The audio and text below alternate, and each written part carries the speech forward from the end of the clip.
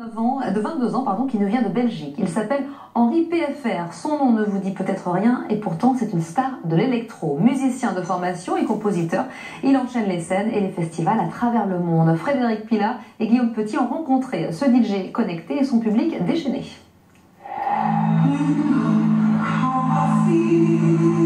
Quand ses mains ne sont pas sur ses platines,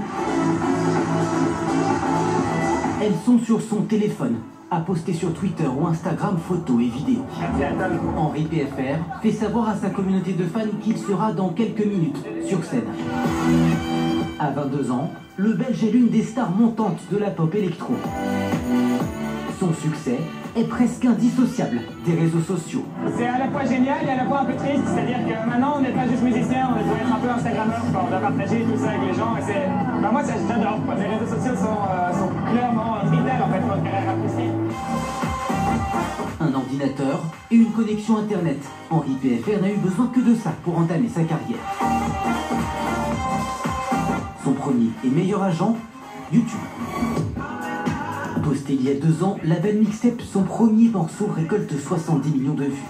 Un succès qui l'amène à arrêter ses études d'économie et à collaborer avec des pointures, comme l'allemand Robin Schulz. Désormais, ses créations sont écoutées plusieurs dizaines de millions de fois sur les plateformes d'écoute en ligne. Sa musique, il peut la résumer en quelques mots. Vacances, cocktail, sauter et euh, trompette, parce que j'ai pas mal de trompettes dans les morceaux. Des titres énergiques à son image, celui d'un jeune hyperactif qui compose, produit et se produit déjà dans les plus gros festivals électro de Belgique, de France et même en Asie. En moins d'une semaine, j'ai été jouer à, New York, puis après à Montréal, puis j'avais dû faire un, un aller-retour à Paris, pour après jouer à Lisbonne, et puis je repartais à Miami, et tout ça en cinq jours. Ça se passe un peu trop vite, on n'a pas vraiment le temps de profiter au final.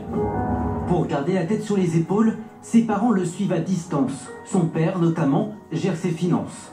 Car si sa vie peut faire rêver, il le sait, la roue peut tout aussi vite tourner. C'est des vies un peu risquées où tout est un peu trop parfait. Pour l'instant, ça marche bien, mais euh, d'ici 2-3 semaines, on ne sait pas qu'est-ce que si je sors un mauvais son, si je mets un statut euh, qui n'est pas approprié sur Facebook, plein de choses qui font que du jour au lendemain, ta carrière peut s'arrêter. Même lucide, Henri Péfer de son vrai nom surprend par sa manière de communiquer sa joie de vivre aux milliers de clovers qui ne viennent que pour ça. Quand tu vois son scène, tu sens la jeunesse, il saute de partout, mec. Il est mignon, il dégage de, de good vibes. C'est pas le style de boom boom en permanence, mais c'est plutôt tu rentres chez toi après le taf, tu l'écoutes, t'es bien. Henri PFR, ou le symbole d'une jeunesse qui préfère rêver, éveiller.